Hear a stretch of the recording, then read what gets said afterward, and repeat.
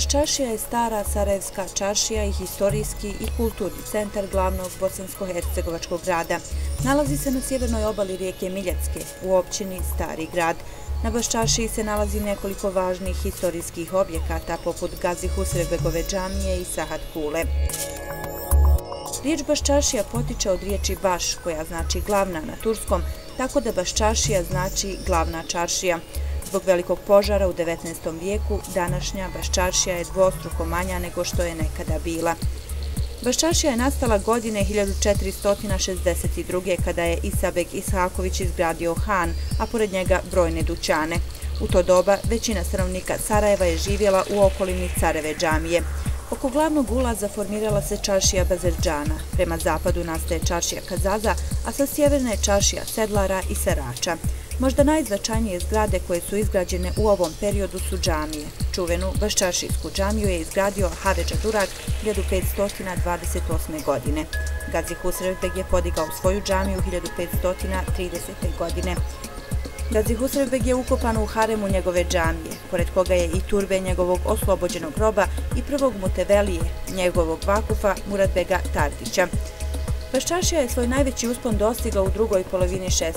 vijeka. Postojalo je 80 raznih vrsta zanata organizovanih u jake cehovske organizacije.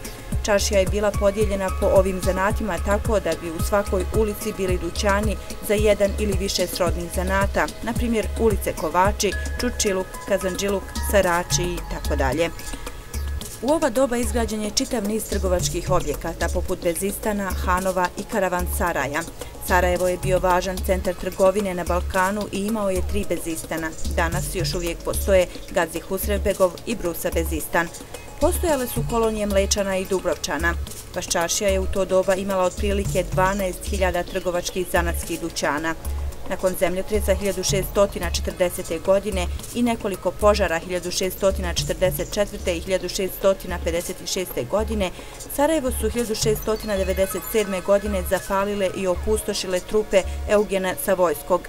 Do 19. vijeka područje grada Sarajeva se ne širi.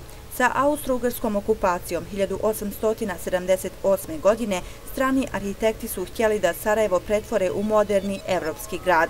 Pomagao im je veliki požar koji je uništio stari grad osim dijela koji je i dan danas tu. Tako nastaje današnja poznata granica između Baščašije i ulice Ferhadije.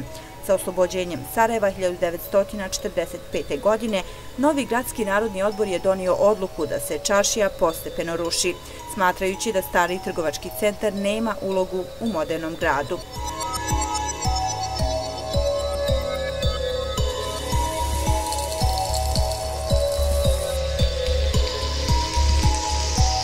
Baščašija kao simbol Sarajeva danas je velika atrakcija za turiste izuzetno bogata sadržajima. Zaslužna je za reputaciju Sarajeva kao značajnog turističkog mjesta. Naime, decenijama Sarajevo se ubraja među stotinu gradova koje čovjek za života treba posjetiti, a ove godine je na listi deset najboljih destinacija, odnosno gradova u svijetu.